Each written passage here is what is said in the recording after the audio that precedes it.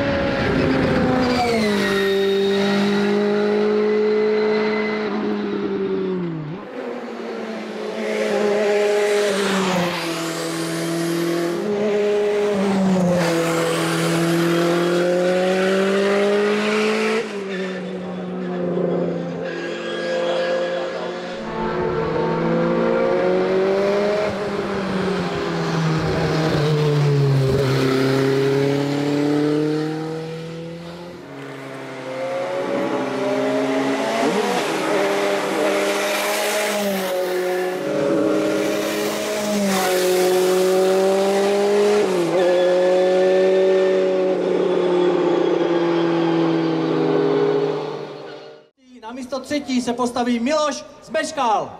Startom číslo 249. Na místě druhém skončil Jaroslav Prášek. Startom číslo 246. Už jsme ho to jednou viděli.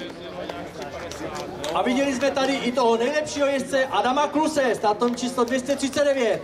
Ten se tedy postaví na ten nejvyšší sud.